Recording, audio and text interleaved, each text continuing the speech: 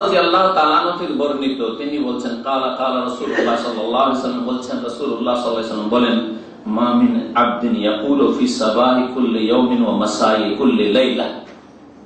কোনো বান্দা যদি প্রত্যেক দিন সকালে বলে এবং প্রত্যেক রাতের সন্ধ্যাবেলা বলে, রাত আসছে তখন সন্ধ্যাবেলা বলে, কি বলে? বিসমিল্লাহ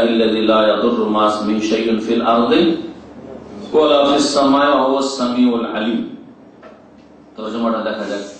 আর মনে রাখবেন যে কোন জিকির অর্থ না বুঝে পড়বেন না।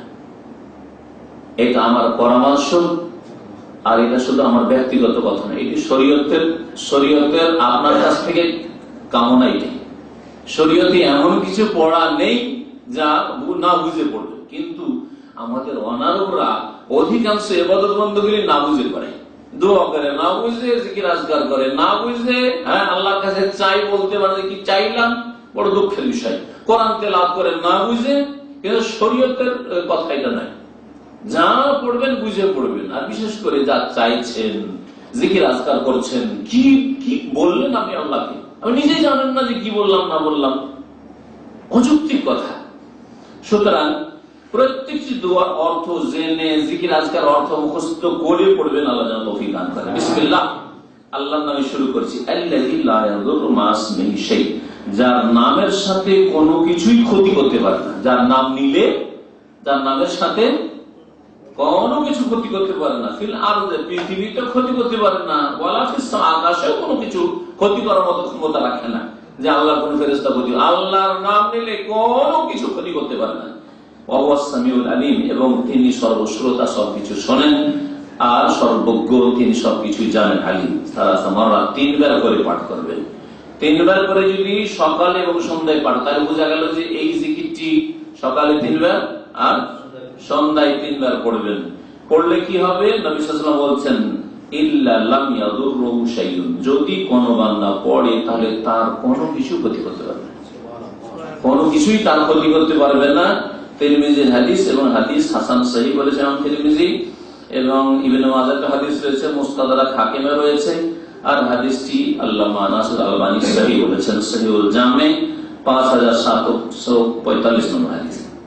তারপরে আট নম্বর জিকির, আমরা এর আগে সাতটি আলোচনা করেছি। আট নম্বর জিকিরটা শোনাই, ওসমান রাজি আল্লাহ তালানতে বর্ণিত। তিনি বলেন من قال لا اله الا الله وحده لا شريك له له الملك وله الحمد وهو على كل شيء قدير في يوم 100 مره এখানে এখন কালেমা তাওহীদের ফজিলত যদি লা ইলাহা ইল্লাল্লাহ ওয়াহদাহু লা শারীকা লাহু লাহুল মুলকু ওয়া লাহুল হামদু ওয়া আলা কুল্লি শাইইন কাদির যে কোন দিনে 100 বার পাঠ করেন 100 বার পাঠ করেন যদি তাহলে কি পাবেন কয়েকটি লাভ রয়েছে দেখেন কি বলছেন নবী সাল্লাল্লাহু আলাইহি ওয়াসাল্লাম কানাত লাহু আদলা আশরে রিকাবি তার দশটি গোলাম কৃতদাস স্বাধীন করার সোয়াব হবে। দশটি দশটি গোলাম কৃতদাস আজাদ করলে স্বাধীন করলে যে নেকি হয়, সেই নেকি হাসিল করবে। এক। দুই নম্বর হচ্ছে মেয়াত হাসান তার একশোটি নেকি লিখা হবে। অনেকে একশোটি নেকি শুনে মনে করতে কমই হবে, তাই না? কারণ উনপঞ্চাশ উনপঞ্চাশ নেকি শুনে অভ্যাস আছে একশো কোটি মনে লাগে।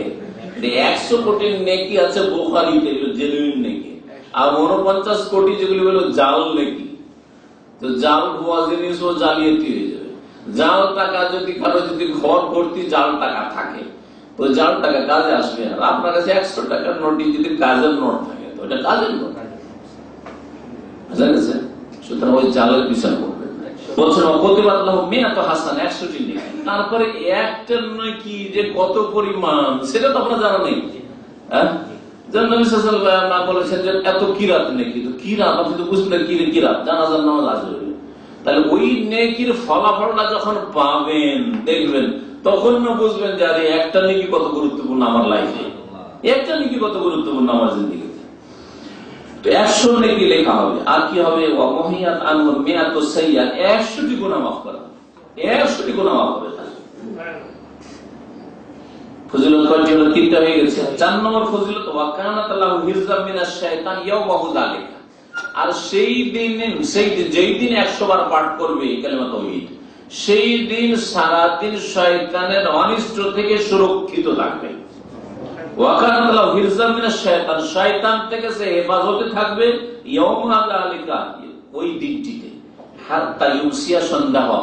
সকালে পাঠ করেছেন, সন্ধ্যা পর্যন্ত জিন শয়তান কোন রকমের ক্ষতি করতে পারবে না।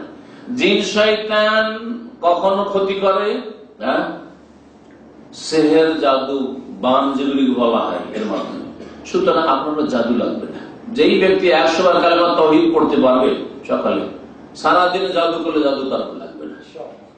এই জন্য যে কোনো দুষ্কর্ম হোক, কোনো ক্ষতি করতে পারবে অধিকাংশ লোক যাদের বাড়িতে জাদুর কুপ্রভাব রয়েছে অথবা জিন তাদেরকে পরেশান করছে, তাদের পিছনে ভালো করে দেখলে দেখবেন যে এরা জিকির আজকাল হেফাজত করে না না পাকি থেকে বেঁচে থাকে না, অথবা তারা তাদের বাড়িতে বিভিন্ন হারাম কিছু যেন ফিল্ম দেখা হয় অথবা দীর্ঘ সময় ধরে নাপাক হয়ে তারা থাকে নামাজ জোহরের টাইম পার হয়ে চলে গেল, নাপাক হয়ে আছে।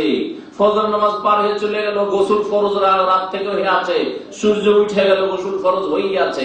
সেই সময়গুলিকে আক্রমণ করে চিনে বান সেহের জাদু বা এই ধরনের আপনার যে জিন শয়তান যেটা স্পর্শ করা, যেটা বলা হয় জিনে ধরা, ইত্যাদি, এগুলি যে পরেশান করে থাকে, এগুলি সাধারণত বেশ বিশেষ কিছু অবস্থা আছে।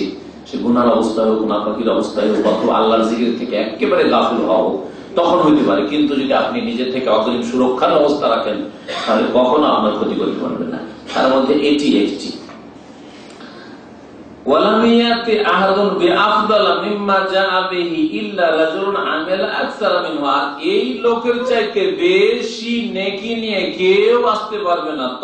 তার চাইতে বেশি কেউ যদি আমল করে। তাহলে বোঝা গেল যে একজন লোক একশত বার দিনে পাঠ করল। একশোতে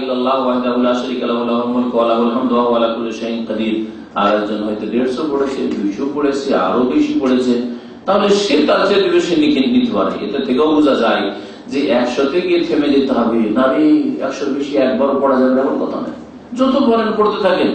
আল্লাহ জিকির। ক্ষেত্রে তবে একশো বারে এটা ফজিল একশত বার যদি পড়েন এতটা ফজিলত আপনি পেয়ে গেলেন। আর এর অতিরিক্ত চলবে না এমন কথা না।